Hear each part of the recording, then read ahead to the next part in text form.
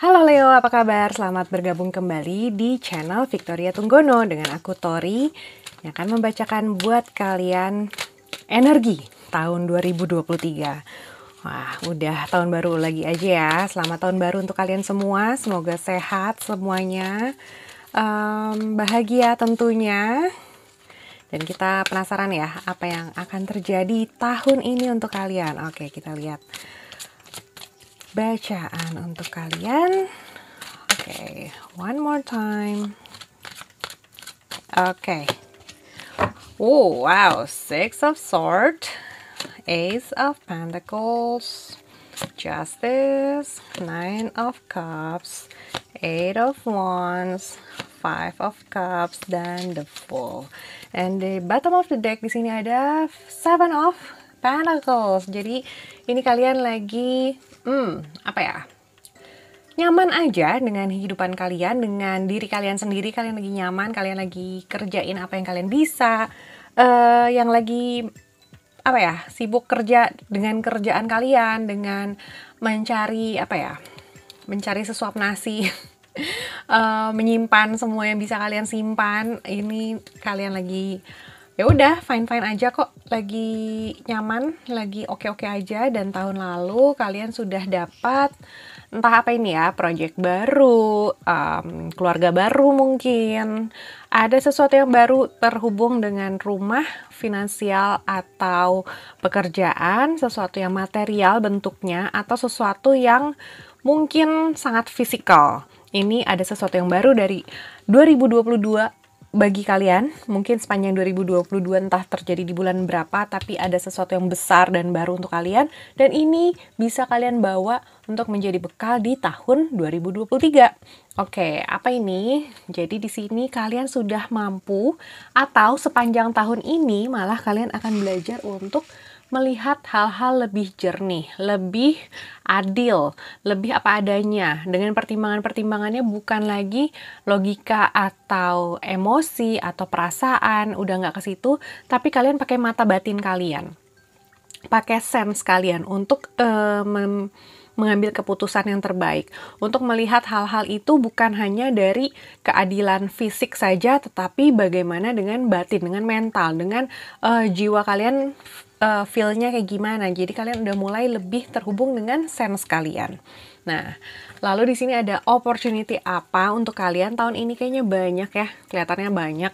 Kelihatannya kalian mau apa juga ada kalian bisa tenang-tenang aja nih, leleh-leleh aja, uh, nikmatin aja perjalanan kalian, uh, atau misalkan kalian but, uh, apa akan ketemu dengan kesempatan-kesempatan uh, itu kalian mendapatkannya dengan santai, nggak kalian kejar juga nyamperin sendiri, kaliannya santai-santai aja tuh duduk uh, party, bukan party sih nyantai aja nih ya di uh, rumah dengan semua kehangatan dan kenyamanan kalian, eh datang aja tuh opportunity-nya entah apa itu.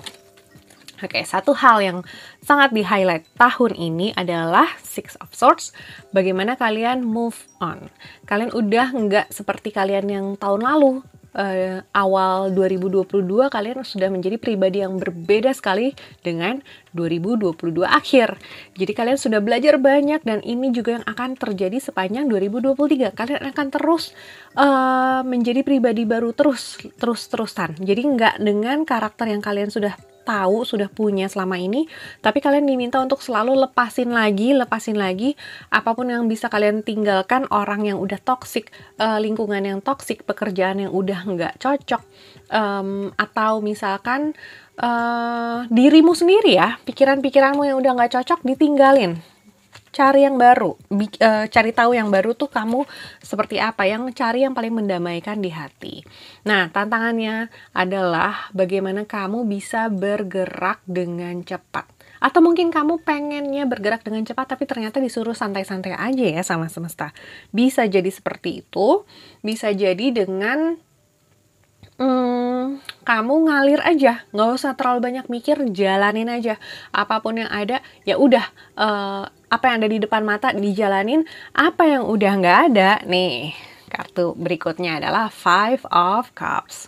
Apa yang udah nggak ada dilupain. Di ya udah dipahami bahwa itu sudah menjadi masa lalu, sudah tidak ada dalam hidupmu, maka kamu lepaskan, kamu move on, terusin jalanin kehidupanmu apa adanya setiap saat, bukan di stay di satu tempat. Jadi ini pesannya sangat kuat ya untuk kalian di sini ada Six of Swords, bagaimana kalian harus move on, dan di sini adalah Five of Cups ini adalah peringatan bahwa kalian dilarang me menyesali apa yang terjadi, apa yang sudah terjadi. Dilarang melihat ke belakang. Kalian harus selalu membawa pelajaran dari belakang itu untuk ke depan, tapi tidak lagi melihat-lihat ke belakang.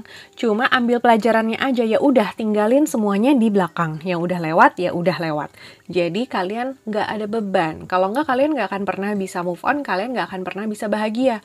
Jadinya kalian stuck terus. Jadi ini kartu mengingatkan kalian dilarang ngelihat ke belakang. Harus selalu present moment. Nah ini nih ini adalah kartu uh, apa yang bisa membantu kalian untuk mewujudkan eh, hal-hal uh, yang kalian inginkan di sini. Kartunya ini adalah the full. The full artinya apa?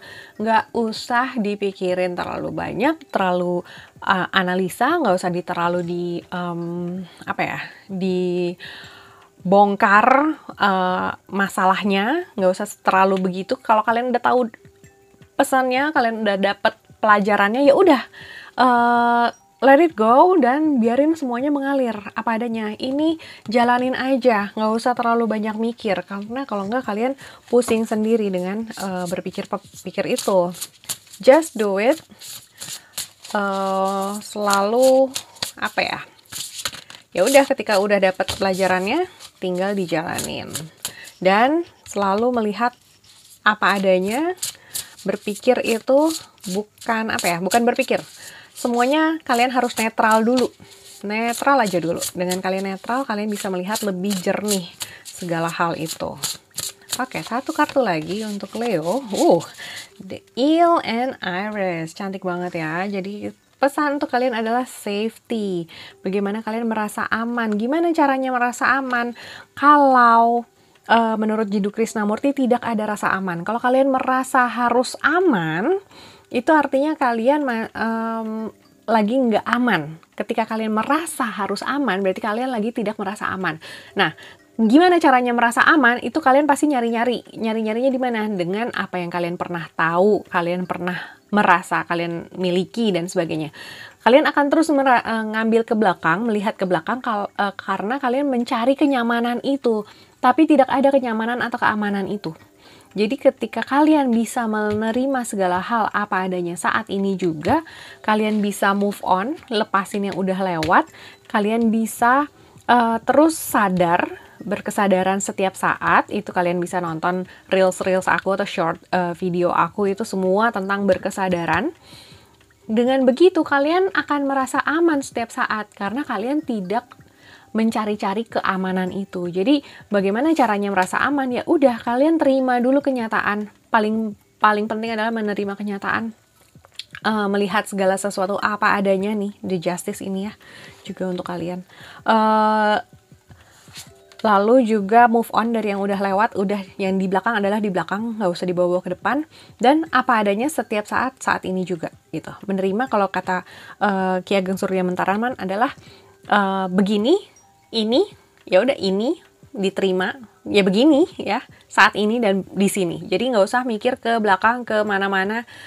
Yang ada di depan mata aja yang di kamu pikirin yang kamu uh, jalanin nggak usah terlalu banyak ke mana-mana pikirannya biar kamu nggak mumet sendiri. Oke ini pesan untuk kalian di 2023 untuk kalian para Leo terima kasih sudah menonton. Sampai ketemu di video-video berikutnya. Bye